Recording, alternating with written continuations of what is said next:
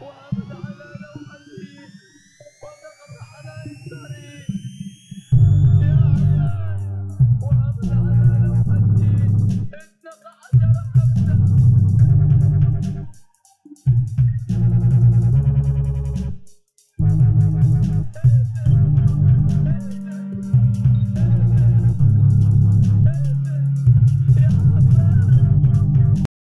بسم الله الرحمن الرحيم. حلقة جديدة من هيا بنا نهبد. النهاردة مش هنتكلم عن هبدة جديدة النهاردة هنتكلم عن طريقة تفكير الهبيدة. ده اسمه Dunning Kruger effect اللي هو علاقة الثقة بالنفس بالخبرة في المجال في أي مجال معين أنت بتتعلمه أو بتدرسه أو بتشتغله. ففي البداية خالص بتبقى له خبرة ولو كونفدنس يعني ما عندكش ثقة وما عندكش خبرة فأنت في المرحلة دي أهي اللي هي بيسميها مرحلة البلاص أو مرحلة الهو؟ إن أنا مش عارف حاجة وعارف إن أنا مش عارف حاجة. بعد شوية وفي يعني قلي- قريبة جدا من بداية التعلم بتدخل لمرحلة I know everything. بيخيل ليك إنك أنت عرفت كل حاجة.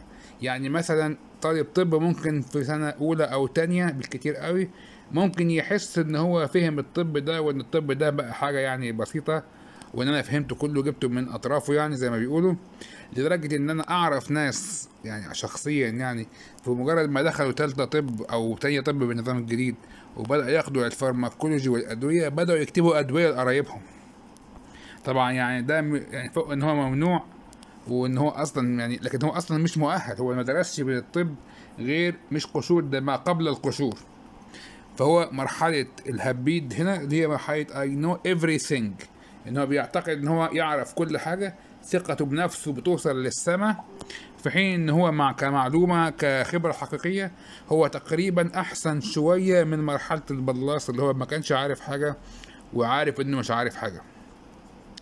لما يتعلم كمان شوية مع الوقت هيبتدي ثقته بنفسه تقل فهيقول لك there is more to this than I thought. بدل ما كان I know everything أنا أعرف كل حاجة. بدأ يقول لك إن أنا في حاجات والله مش عارفها في حاجات طلعت أكتر من اللي أنا متوقعها. اللي هي إحنا بنسميها بدأ يحس إن هو حمار. طبعا دي يعني إيه؟ طريقة ال- الرسمة دي فيها نوع من الكوميديا شوية بس هو ده الحقيقي ده الواقع يعني. طيب بعد شوية كمان بيحصل له إيه؟ بيحصل له I am never going to understand this. بيوصل بقى لليأس بقى إن هو من كتر ما هو لقى إن الموضوع كبير أكتر من طاقته فبيقول لك أنا خلاص ده تأكد إنه يعني لا مؤاخذة يعني تأكد إنه حمار. بعد شوية بقى لما يبتدي بقى بعد ما هو عدى مرحلة اليأس ولسه بيتعلم تاني يبتدي ثقته بنفسه تزيد تاني تدريجيا فهيقول لك it is starting to make sense. بدأت أفهم. شوف بدأ يفهم فين؟ بعد شهور أو يمكن سنين من بداية التعلم وهنا ثقته بنفسه. يا دوبك بدأت تعلى علو حقيقي بعد ما نزلت النزول السريع بعد ما اكتشف إن الموضوع أكبر بكتير مما كان يتوقع. بعد شوية هيبتدي ثقته بنفسه تعلى بس طبعا بعلو بطيء جدا. وهيقول لك trust me صدقني it is complicated. الموضوع طلع أصعب بكتير مما كنا نتصور. ودي اللي قالوها زمان علمائنا إنه من ظن أنه عالم فقد جهل. الإنسان كل ما بيعلم أكتر كل ما بيزداد علمه في حاجة معينة كل ما بيزداد يقينه بأنه لا يعلم فيها الكثير وأن ما يجهله أكثر مما يعلمه.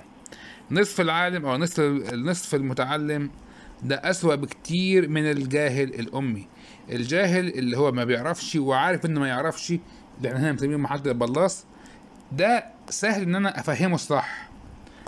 يعني المريض اللي مش عارف معلومة أصلا ده أسهل بكتير من المريض اللي قاري كلمتين في النت ومتخيل إن هو كده جمع أطراف الطب من يعني من طرفيه يعني زي ما بيقول أو من أطرافه يعني. ويقول لك يا دكتور أنا قريت في النت إن الكارتيزون بيعمل كذا وكذا. ده أصعب بكتير في إقناعه من المريض اللي هو عنياته البسيط اللي أنا ممكن أفهمه يا حاج ده كذا كذا الدواء ده بيعمل كذا والدواء ده بيعمل كذا. ده أحسن بكتير من الإيه؟ من نصف المتعلم اللي إحنا مسميه هنا الهبيد.